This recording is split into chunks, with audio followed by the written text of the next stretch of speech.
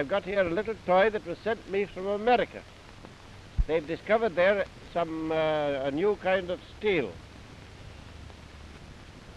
cobalt steel, which holds its magnetism very strongly. So much so that if I have one magnet in this piece of wood and another one above it, one will float on the other. That bit of steel is floating in empty space, in vacuum. The air has nothing to do with it. It's resting on a cushion of vacuums. Well, that shows that empty space can support things. We call it magnetism. Well, that's a mere name. But uh, there are many other things that we call by names. When we have weight, ordinary things dropping, that is pulled down by empty space again. We got used to that, but we don't really understand it. Well, now, I'm going to show that there's no, no mystery in this thing. At least everything is mysterious, but no more mystery than there is in most things. But I've got two pieces of steel here where you can see them. Now, if I bring one up to the other, you see it runs away. These two things don't like each other. They chase each other. Now then, I bring that nearer to it, and away it goes. That's called magnetic repulsion. I put them close together, they spring apart, see, like that. Unless I reverse them, and then they like each other very much. Well, that's the kind of thing that goes on in magnetism.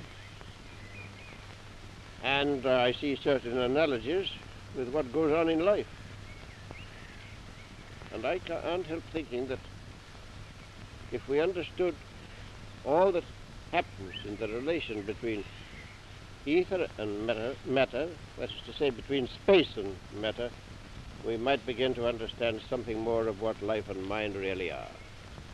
At any rate, that is the subject matter for the science of the and uncertain and problematical, but on which of which there is a great deal of evidence. That evidence has to be criticized, but if the result is that personalities continue to exist, then they must have a physical vehicle for that existence, and that vehicle, I believe, will be found to be the mm, substance, the entity, you can't call it uh, an entity, yes, which fills space and which is the far more important thing than any form of matter, which is a trivial thing in comparison.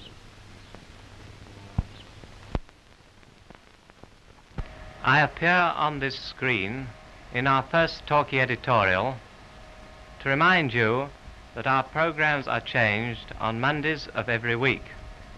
We are also supplementing the program throughout the week with news pictures of particular interest as they become available. While I am here, I must take this opportunity of thanking you, our patrons, for the amazing support which has made this news theatre an immediate success.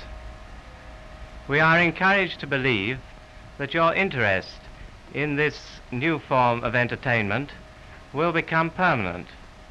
And in this belief, we are making ambitious plans for the future.